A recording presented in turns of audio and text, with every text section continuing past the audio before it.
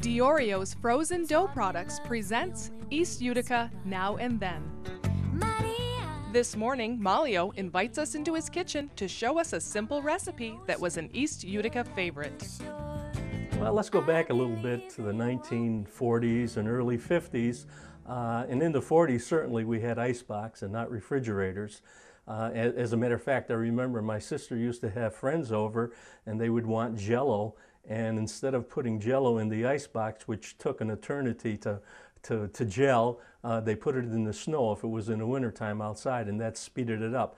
But there was also a dessert that my mother made. It was called icebox cake because it was put in the icebox uh, to cool, and it was always made with uh, My-T-Fine pudding. There were two puddings, uh, a vanilla pudding and a chocolate pudding, and we bought them at Nicomodio's a grocery store in the corner. There was always 10 cents a box, and the milk was 10 or 15 cents a quart, so the whole dessert didn't cost 50 cents to make. It is very simple. Prepare the cooked pudding according to the instructions on the box using two of your favorite flavors. Line a square pan with a layer of graham crackers. Pour one of the prepared puddings on top. Make another layer of graham crackers. Then pour the other pudding on top. Then Malio's favorite part, crush more graham crackers and sprinkle over the top. Then cool in the refrigerator or icebox. And it was a delightful dessert, very inexpensive and very traditional. I had written a book on East Utica and I mentioned icebox cake and I can't believe the number of people who told me about it. Some made it only with one, one kind of uh, pudding. Others would make it with three kinds of puddings. But it was a very, very, very traditional dish in East Utica and a wonderful dessert.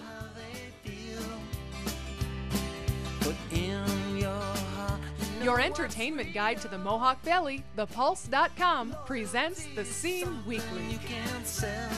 Hi, Mark Wachowski here. There's a new nightclub in Utica called The Bogey. Holds a thousand people.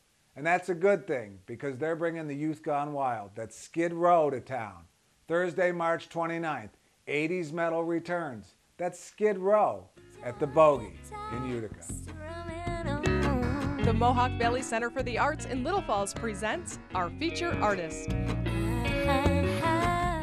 With just days before their big performance, the Leatherstocking Ballet dancers are busy rehearsing. Formed in 1995, the Leatherstocking Ballet Company introduces ballet to young people throughout the Mohawk Valley. We're getting ready for our 12th annual performance and we're doing Sleeping Beauty this year. And there are a lot of area children here. We have about 100 students in our show and we're just in our final rehearsals today. Christina D'Amico is our Sleeping Beauty, and she's actually um, doing the role for the second time. She did it four years ago as a 13-year-old, and now she's had four more years, and she's back as our Sleeping Beauty again this year. It's the Leatherstocking Ballet, and we have auditions for our company dancers in September, and then we have our children's auditions in January, and we offer a couple of dates so people can just you know, follow the paper. We advertise as much as we can in the local papers and the OD, and um, we're always looking to build our student um, participation. Uh, we have students from Watson Williams, which is an inner city school in Utica, and they participate with us every year to give other kids who might not have the opportunity to dance at this level a chance to participate in something that's a really great experience. I was always dancing around the house, so my parents decided to throw me into dance class. I love performing.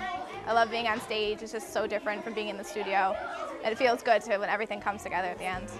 Don't miss the Leatherstocking Ballet Company's performance of Sleeping Beauty this Saturday at 7:30 at the Clinton Performing Arts Complex. Call the Stanley box office at 724-4000. Did you know that just like the Finger Lakes Wine Trail, the Mohawk Valley has a maple syrup trail? Local syrup producers are open for tours and tastings this weekend and next.